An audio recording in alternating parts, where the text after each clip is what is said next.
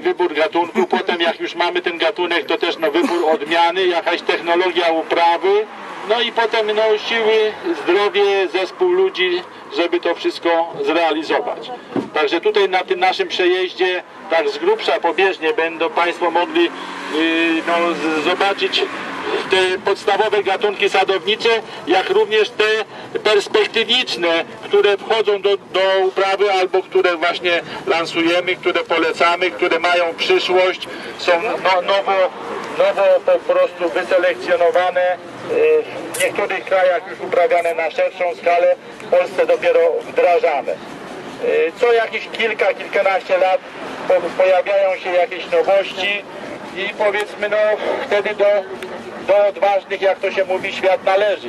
Y, Często jest, którzy, ci, którzy pierwsi w to wejdą, którzy poznają tajniki danej uprawy, y, często robią, potem mają, no, no to jakby są przewagę nad, nad konkurencją. Tak było na przykład w uprawie borówki amerykańskiej, która weszła na, e, do naszego sadownictwa jakieś 30 lat temu. W tej chwili Polska jest no, jednym z czołowych producentów owoców borówki amerykańskiej i, i, i również podobnie może być za, za kilka lat e, z jagodą kamczacką, podobnie może być ze śliwą. E, No jagoda kamczacka e, to roślina jest pochodząca z dalekiej e, Azji, ze wschodniej Azji. Y, Świdośliwa y, powszechnie, ona w Polsce też występuje nawet dziko w lasach, ale na już tak y, odmiany wyselekcjonowane, uprawiane są na przykład na, na dosyć szeroką skalę w Kanadzie. My również tu dysponujemy tymi najlepszymi odmianami kanadyjskimi na, na tym polu selekcyjnym. Tutaj teraz po prawej stronie te krzepy jagodowe, co Państwo będą mieli po prawej stronie, to jest właśnie świdośliwa. I tutaj to jest takie pole selekcyjne, są różne, różne typy. Y, Niektóre to są jeszcze jakieś takie nie, bez nazwy, nie, nie, nie nadano im nazwy, niektóre już są zarejestrowane jako odmiany. I, I ta roślina już właśnie jest propagowana, jest wdrażana do uprawy. Y, Owoce nadają się czy do, jak najbardziej do mechanicznego zbioru, do zbioru kombajnem. Y, Roślina o niewielkich wymaganiach glebowych.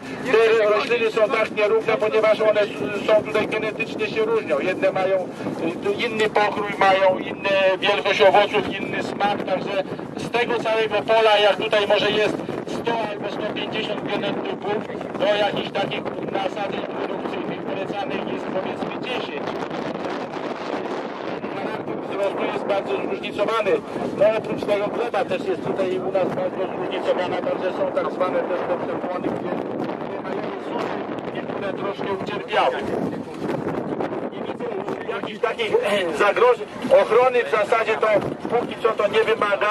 Może to być roślina. Znaczy tak, Pierwsze owoce są atakowane przez ptaki. To bywa to problem. Tam takie, pewnie Państwo słyszą e, głośniki, które pracują, ta aparatura biosomiczna, ten, e, ta centralka tutaj pracuje. Stanowisko sprzedaży z taką aparaturą też jest tam na, e, na wystawie. Być może jest to też gatunek wrażliwy na zarazę ogniową. To są takie jakby dwa zagrożenia przy tej uprawie. Tutaj mamy po prawej też kwaterę wiśni do mechanicznego zbioru kombajnem w ruchu ciągłym, nie otrząsarką. Mamy tutaj no, też łutówkę i odmiany węgierskie. Odmiany węgierskie u nas owocują dosyć przyzwoicie, ale mamy niezbędny do nich zapylacz, dobry zapylacz. Najlepszym tym zapylaczem jest odmiana Netris. Poza tym w naszym tutaj gospodarstwie, które liczy 74 hektary, yy, jest, mam od, nie wiem, od iluś tam lat, tutaj, pracuję tutaj w ogóle w Dąbrowicach to prawie od zawsze, a od, od jakichś tam 15 lat jestem kierownikiem. To mamy tutaj bardzo dużo y, kolekcji też, czyli w każdym gatunku podstawowym jakby mamy zebrane te wszystkie odmiany, jakie występują no, praktycznie na całym świecie, czyli na przykład mamy w takiej kwaterze kilkaset odmian. Śliw, czereśni, wiśni, w każdym podstawowym sa- sadowniczym gatunku. Y, Tutaj mamy takie proekologiczne nasadzenie jabłoni i wiśni, a po prawej, po prawej to jest dalej też kwatera śliw, też do mechanicznego zbioru. Praktycznie ten sam kombajn, który, który zbiera tamte wiśnie, również zbiera śliwy. Te dwa rzędy to jakby już inny, jeszcze inny typ korony, także inny kombajn tam jest testowany, natomiast w tych wysokich rzędach również kombajn najeżdża na cały rząd i, i te owoce dosyć, uważam, że jest bardzo dobra jakość zbioru, Yy, również tam po małych, po małych wybraniu owoców takich pojedynczych yy, owoce są sprzedawane yy, w detalu.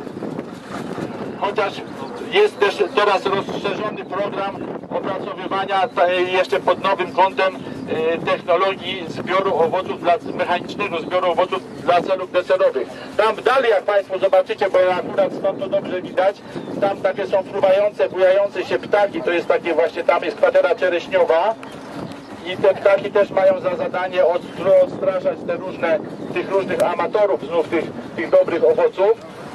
E, No również tam jest ta aparatura odstraszająca biosomiczna, jest też armatka gazowa, o słychać ją było. E, To jest tam są tereny wyżej położone niż tutaj, więc tam mamy zlokalizowane te gatunki bardziej e, wymagające ciepłych stanowisk. Czereśnie, brzoskwinie, morele, winnice, tam to będziemy tamtędy jechać. Siatki przeciwgradowe, różnokolorowe, to one już były oceniane.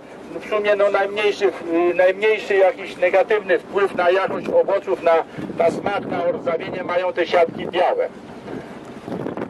Tam to mamy pole kwatery ochroniarzy i są takie pasy olchy, które odgradzają poszczególne pasy, ponieważ oni oceniają różne środki chemiczne, testują i tak dalej, żeby ta, y, y, w czasie zabiegów ta chemia się nie przenosiła z jednych rzędów na następne. Y, Teraz w- zasadzie wjeżdżamy w tereny zakładu hodowli roślin y, sadowniczych i tutaj mamy właśnie różne gatunki, śliwy, czereśnie, y, wiśnie, jabłonie i tudzież jagodowe, gdzie są prowadzone prace hodowlane. To po jakichś wstępnych selekcjach w tunelach foliowych czy szklarniach, te, y, gdzie są eliminowane y, genotypy najbardziej wrażliwe na choroby, tam one są poddawane sztucznej, y, no, sztucznemu zakażeniu y, przez czynniki chorobotwórcze, te, które przeżyją, wysadzane są do gruntu i tutaj już obserwujemy ich owocowanie. Znów po wstępnej selekcji te wyselekcjonowane wysadzane są jakby już do takiego doświadczenia porówna, porównawczego, gdzie porównuje się do jakiejś odmiany standardowej, którą znamy, żeby, żeby ocenić, czy to jest lepsza, czy gorsza odmiana od tych, które mamy dotychczas. I tu dlatego tu nas jest ciągła rotacja, jak Państwo widzicie, że po ocenie, po dwu, trzyletniej ocenie wiadomo już co jest, co, ile jest warte, jest likwidowane i teren czeka na następne nasadzenia. Tu jest też y, różne krzyżówki jabłoni, tam dalej mamy takie pole, y, gdzie mamy siewki i krzyżówki y, moreli. One w tym roku była bardzo taka wiosna łagodna, bez przymrozków, bo tu jest dosyć nisko teren położony, jednak te morele nam tutaj bardzo ładnie owocują. Będą poddane ocenie i najprawdopodobniej w przyszłym roku, jak będziecie Państwo tutaj przyjeżdżać, a zapraszam, to już ich tutaj nie będzie. Po prawej stronie to już mamy tak właśnie, to już jest po wstępnej selekcji, to już też takie poletka już o, oceny tej odmianowo-porównawczej, tej, tej wcześniej wyselekcjonowanych form e, w pracach hodowlanych. E, Tutaj to bardziej teraz wchodzimy jakby w teren e, grzybów jagodowych. Po lewej stronie to też e, to jest takie tutaj duży udział, to są prace pana profesora Pluty. To była sele, selekcja i ocena no, tych odmian porzeczek polskiej hodowli, które Państwo doskonale znają. Też agresu w tej chwili też są prace hodowlane borówką amerykańską. Tutaj przy tej drodze, jak my teraz w prawo skręcimy, to po lewej stronie będziemy mieli poletko właśnie takich hodowlane e, siewek i krzyżówek borówki amerykańskiej. E, Nieco głębiej te już wyższe krzewy to jest doświadczenie z uprawą różne systemy nawadniania o jedno, jeden powiedzmy przewód kroplujący, dwa przewody kroplujące, przewody o różnym, e, różna odległość kroplowników i, i różny wydatek wody. A to jest dalej jeszcze powyższe krzewy, to jest plantacja założona w 85 roku, także e, chyba 30-letnia i, i bardzo dobrej kondycji, bardzo do, przy bardzo dobrym plonowaniu. Plon borówki amerykańskiej to możemy zebrać no, na dobrej plantacji spokojnie no 15-20 ton z hektara. No podstawową odmianą w Polsce to jest nadal odmiana Blue ale no jest to taka odmiana środka sezonu, może też częściowo dla takich początkujących plantatorów, natomiast no, są i odmiany późniejsze, jak i zarówno są odmiany wcześniejsze. Yy, przypomnę Państwu starą zasadę sadowniczą, cokolwiek byście Państwo sadzili, cokolwiek byście Państwo chcieli uprawiać, to mówią, że zanim się posadzi, trzeba to sprzedać. Czyli trzeba przemyśleć, gdzie by, czy będę miał możliwość tego zbytu. No raz zbioru, czy to ludzi do zbioru, czy mechanicznie do zbioru, no i kanały dystrybucji, czy to będę sprzedawał no, na jakimś małym rynku, na rynku hurtowym, czy na eksport, bo to wtedy troszkę e, inaczej trzeba też myśleć o doborze odmian, o technologii uprawy. Także zanim posadzisz, to sprzedaj. To jest taka mądra zasada. A tutaj już pewnie, już pewnie tam jest kolega, który zajmuje się tą borówką, tak, widzę go, borówką amerykańską i żurawiną. Czyli jeśli Państwo, by ktoś chciał bardzo dołączyć do grupy, bo jest zainteresowany borówką, to możemy tu tupnąć, kierowca stanie i ktoś sobie może wysiąść. A jeśli nie, no to jedziemy dalej. Można tutaj, zwiedzić na razie, zrobić cały objazd i potem tutaj dotrzeć do ten rejon. Po lewej mieliśmy taki lasek, lasek no, w czasach minionej epoki, e, no był taki, służył za wysypisko różnych zbędnych rzeczy. W tym roku trochę podjęliśmy wysiłek, żeby go uporządkować. Nie wiem, może jakiś park tu założyć. Hyde Park. rekreacyjny E, Po, po prawej to mamy oczywiście też ścieżki hodowlane. Dalej ten sad no troszkę przerośnięty, niecięty, to jest stary sad, poligonem do opracowania technologii zwalczania miodówki kruszowej. Swego czasu był to bardzo uciążliwy szkodnik dla, dla sadowników, nie można było sobie z nim poradzić. W zasadzie czym bardziej intensywna ochrona chemiczna była, tym tej miodówki było więcej, więc należało zrobić dwa kroki do tyłu, ograniczyć chemiczną ochronę, pozwolić się namnożyć organizmom pożytecznym i te organizmy pożyteczne, szczególnie w tej drugiej połowie sezonu, one kontrolowały nasilenie tego, tej miodówki gruszowej. I to jest słuszna metoda, że metoda chemiczna na początku przed kwitnieniem, a później na, metoda biologiczna. No też kwatera jest bardzo stara, w zasadzie nie bardzo mamy też siły, środki, żeby ją powiedzmy ciąć, bo z finansowaniem różnych program, programów, jak Państwo też wiecie, z pieniędzmi to jest różnie i, i, i, i to co możemy zrobić, to możemy, a niektórych rzeczy nie możemy. Aha, teraz tu jakbyśmy tupnęli, to może Pan stanie, a nie, Pan nas słyszy teraz. Halo, prosimy się zatrzymać. Dobra. Pierwszy nam się to nie udało pod tamtym kursem, a teraz się udało. Super. I teraz tak, tu jesteśmy taki, no prawie najwyższy punkt naszego, na, naszego gospodarstwa i tak zwane gatunki mamy rzadkie, czyli przyszłościowe, które może będą wdrożone niektóre za kilka lat.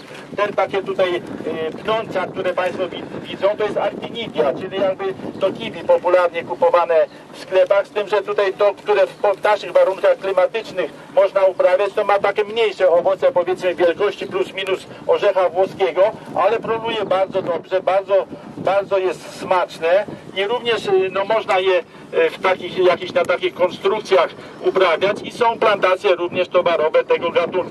Jakby jedna z roślin przyszłościowych. Po lewej stronie od tych pnączy to mamy derenia, derenia. No też e, niektórzy może jakąś dereniówkę znają.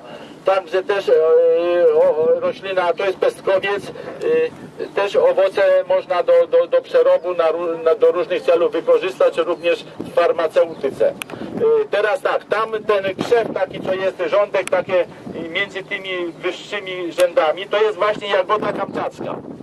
Tak krzewy wyglądają jagody kamczackiej i to jest roślina, uważam, bardzo perspektywiczna. Owoce też nadają, nadają się do mechanicznego zbioru.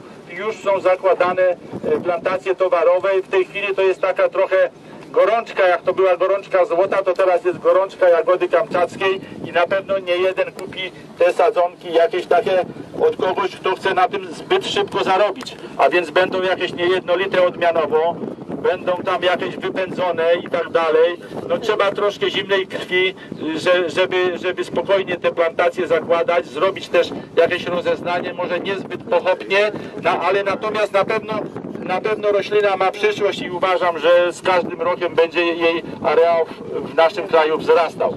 I nie wiem, czy mówiłem, że, że odporna jest właśnie na niskie temperatury, zarówno krzew, ponieważ pochodzi z Syberii, jak i, jago, jak i kwiaty w czasie kwitnienia. Minus 5 spokojnie kwiaty wytrzymują w czasie kwitnienia, nawet poniżej minus 5 można to powiedzieć. Stanowisko jakie? Lekkie, lekko kwaśne, nie jest to roślina jakaś wymagająca, no jeśli to będzie lżejsza gleba, wtedy no dobrze by było, żeby to nawadnianie kropelkowe e, było. E, Teraz innych gatunków jeszcze no tutaj z tych rzadkich, co, co my tutaj mamy, jeszcze mamy bezczarny, tam takie te e, wysokie jakby drzewa pod, e, dalej przed nami po prawej, to jest rokitnik. Rokitnik też w pewnych, w pewnych tam, no w pewnym, na pewną skalę uprawiana roślina, to tak te e, kiście, takie potem te owoce to są tak oblepione, wyglądają, przypominają kolbę kukurydzy. Te owocki są tak gęsto umieszczone na tych, na tych pędach i no do ręcznego zbioru roślina, znaczy owoce praktycznie niemożliwe. Nie da się tego zbierać tak, bo się maślą. E, Technika jest taka, że, że należy ścinać to z tymi pędami, zamrozić i potem oczepać to, wymucić niejako, zamrożone. Ale, ale jeśli chodzi o walory prozdrowotne tych owoców, to mówicie, że to jest apteka. A wydajność tej jagody kamczackiej jaka jest? No, trudno tak wie pan do końca to stwierdzić, bo to są młode plantacje i tak dalej, ale myślę, że tam wie pan, no 7-10 10 ton to, to chyba spokojnie Aha. można mówić, no. Dobrze plonuje, dobrze plonuje, dosyć łatwo się też osypuje, ale znaczy, no ale nie to, żeby się osypywała może przed zbiorem, także, także ale w, w, w czasie tego zbioru mechanicznego nie wymaga jakichś intensywnych parametrów zbioru, takie dosyć łagodnie ją się zbiera, zresztą, że, że już o, o, o tej gatunku jest głośno, no to już może świadczyć to, że na przykład firma Waremczuk, jeden z czołowych producentów kombajnów, ma wersję kombajnu, który, którym nie jest napisana, jak możecie Państwo zobaczyć, kombajn do zbioru jagody kamczackiej. Także to już, czyli on już czuje, że jest, na to będzie ssanie rynku na taki kombajn. To możemy jechać. Jedź, bardzo pięknie. Tutaj po, po lewej stronie ten wysoki krzew, to, te, to jest jeszcze świdośliwa, to też tam jakieś różne, różne typy. Tu mamy też dwa rzędy róży. No róża też może być mechanicznie zbierana. Yy, do przemysł no, kosmetyczny potrzebuje dużo owoców róży, również e, wina by były bardzo dobre. Tutaj mamy jeszcze raz znów tam mamy jagodę kamczacką, dalej mamy dereń i tutaj znów mamy takie te pomieszane, coś tam mamy rokitnik i jeszcze coś. Ponieważ jesteśmy na, na najwyższym terenie w naszym gospodarstwie, więc tam za tym żywopłotem mamy wi- winnice, gdzie są zarówno ja, odmiany deserowe, jak i przerobowe. Mamy takich no, dział kilku pracowników, którzy tym się zajmują, również produkują wina, wystawiają się na jakichś tam wystawach. Yy, No klimat nam się ociepla, więc winnice w naszym kraju też mają może szansę. Yy, Przepisy też na tyle się zmieniły, chociaż chyba nadal są uproszczone, że możemy te alkohole produkować i sprzedawać. Na tu mamy bardzo dużo różnych tak zwanych kolekcji. Tu mamy kolekcję czereśni. Każde trzy drzewa to jest inna odmiana. Także tutaj tych odmian jest mnóstwo, aż ktoś tam przyjechał samochodem i się zaopatruje. No ciekawe, trzeba było strzelić. Ale szpak. E, Tutaj te właśnie to, to, to, to żelazko, ta konstrukcja, to tutaj są e, kwatera wiśni, gdzie e, za pomocą tych konstrukcji to nadajemy różne formy koron tych drzew i będą albo jakieś korony osiowe, albo rozpinane pod różnymi kątami. i do, do tych form koron właśnie zobaczymy wtedy, z której formy korony najlepsza jakość zbioru będzie owoców deserowych, tych wymienionych wcześniej przeze mnie gatunków.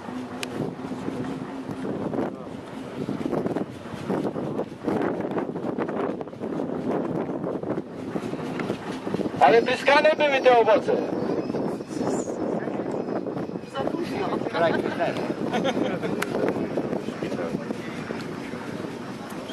Reguły na nie, nie działa na zwiedzających, że tam pryskane to nie działa. Działa na ptaki, to nie działa i. No. No i teraz właśnie tak jak z dołu widzieliśmy tą plantację, tu jesteśmy w kwaterze właśnie czereśniowej. E, No to ponieważ no, mamy różne odmiany, różne, na różnych podkładkach jest, no w czereśniach w tej chwili jest, no dostępnych jest szereg podkładek półkarłowych i karłowych, co zdecydowanie zmienia ułatwia całą technologię produkcji owoców czereśni. Mamy normalne małe drzewa czereśni, a dawniej no to były baobaby, wielkie drzewa, trzeba było mieć potężne drabiny. Gospodarz zamiast zbierać, to musiał trzymać drabinę tym dziewczynom, które tam wysoko zbierały. Tak, tak, właśnie mówił, że właśnie dlatego te czereśnie utrata.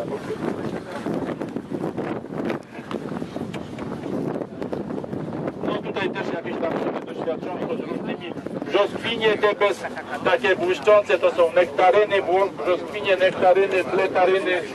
Tu mamy jeszcze y, Macintosha, pewnie Państwo starsi pamiętają, to była kiedyś pod, jedna z pod, dwóch podstawowych odmian jabłoni uprawianych w Polsce był Macintosh i Jonathan. A tutaj, ponieważ Macintosh jest odmianą bardzo wrażliwą na parcha, to jest, czyli kwaterka Zakładu Ochrony Roślin, oni, żeby tego parcha zwalczać, muszą gdzieś go namnażać, więc na tej wrażliwej odmianie. A to jest bardzo naukowa kwaterka, chociaż tak nie wygląda, niepozorna, ale, ale, ale do celów naukowych bardzo ważna, ponieważ te wysoce wyselekcjonowane rośliny, one są wrażliwe, ale tylko na niektóre rasy parcha. I po porażeniu tych drzew można wnioskować, jakie rasy parcha mamy, bo, bo to też to nie jest genetycznie jednakowy, jednakowy grzyb, tylko ma różne właśnie genetycznie różni się i ma ró- różne odporności na, na różne środki chemiczne. Tu mamy tak, tam w głębi to mieliśmy kolekcję brzoskwiń, tu mamy kolekcję moreli, w tym roku mo- morele owocują bardzo dobrze. Tu mamy stację taką pomp, czyli mamy głębinówkę, basen na jakieś 700 metrów sześciennych. Głębinówka wydatek gdzieś 30 metrów sześciennych na godzinę. E, W, tej, w tym budyneczku jest stacja filtrów piaskowych a w tą beczkę pompujemy wodę, żeby się ogrzała i potem używamy ją do zabiegów ochrony roślin. Natomiast e, tu rurociągami woda jest rozprowadzona z tych, po, po tej filtracji po całym tym gospodarstwie, które objeżdżaliśmy i potem z tych rurociągów tymi kroplującymi przewodami e, woda sobie kapie znów pod poszczególne drzewka. Nawadnianie kroplowe jest to, jak Państwo się orientują, jest to najbardziej oszczędny sposób gospodarowania wody y, przy nawadnianiu. I to jest też młoda kolekcja jabłoni, czyli też tu każde trzy drzeweczka to jest inna odmiana. Czyli to nie jest taka produkcja towarowa jak w gospodarstwie, że mamy 5 hektarów tam czegoś, idziemy i robimy przez tydzień to samo. Tutaj do każdej kwaterki to trzeba podejść 20 razy, bo to wszystko w różnym terminie dojrzewa e, i, i tak dalej. Także tu, tu my, my rob, to jest właśnie inny charakter pracy niż w takim normalnym gospodarstwie sadowniczym. Niemniej e, to, co zostanie, te owoce, które zostaną po zbiorze tych próbek wszystkich do oceny e, czy plonu, czy, czy pa- parametrów jakościowych, te pozostałe owoce staramy się zagospodarowywać i sprzedawać. To nazywa się to tak zwana produkcja uboczna. Niemniej jakieś tam kilkaset tysięcy złotych z tej produkcji ubocznej i utargujemy, bo tak my zbieramy gdzieś 300-400 ton w sumie tych owoców e, rocznie teraz z tej powierzchni. Jak mówiłem, tu jest gospodarstwo 74 hektary, takich no gruntów e, użytków rolnych około 69. No jak widzicie Państwo, część jest w rekultywacji, bo ciągle coś wyrywamy, e, także ob, obsadzonych znów jest tam gdzieś tak do 60. No i, i te, te, te około 300, 400, bardziej 400 niż 300 ton owoców zbieramy i mniej więcej, no tak z tego by wynikało, że ta średnia cena wychodzi nam tak plus minus około złotówki za kilogram. No na, to, na tą średnią cenę w dużym stopniu rzutuje właśnie cena jabłek przemysłowych. No i tutaj jesteśmy teraz tuż obok, to jest ta, te dwa pierwsze rzędy, to jest Debrecen Botermo, no niektóre drzewa o, nawet całkiem przyzwoicie owocują. Ten trzeci rządek to jest ten właśnie zapylacz, odmiana Nefris. I te, te, z tych drzew jesteśmy w stanie owoce zbierać tą naszą samobieżną maszynerią.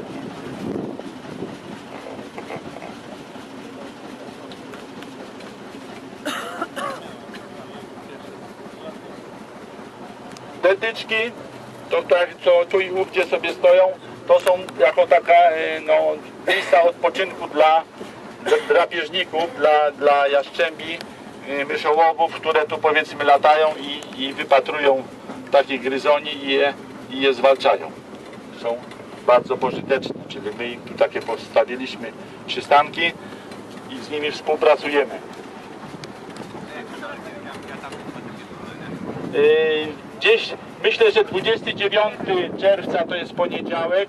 Yy, Myślę, że w poniedziałek, właśnie 29 czerwca podejmiemy decyzję, kiedy będzie kombajnowy zbiór tej świdośliwy. Czyli jeśli ktoś z Państwa by, był zainteresowany, żeby zobaczyć, jak te owoce będą wyglądały w czasie kombajnowego zbioru, to, to należałoby się telefonicznie 29 skontaktować. Myślę, że wtedy ustalimy tak, e, czy to będzie 30, czy, czy potem 1 lipca.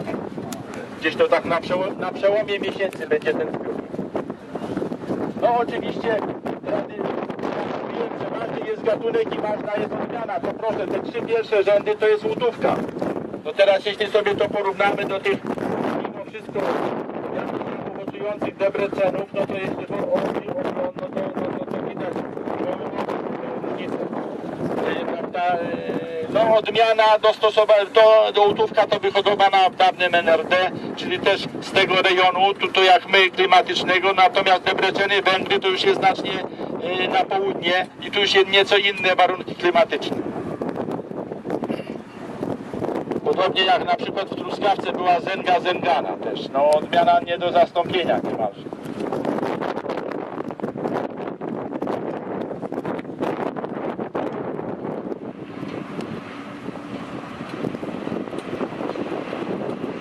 I tutaj na tej plantacji mamy takie, o, takie dwa głośniczki tutaj pracują, no i jakby póki co nam te ptaki odstraszają.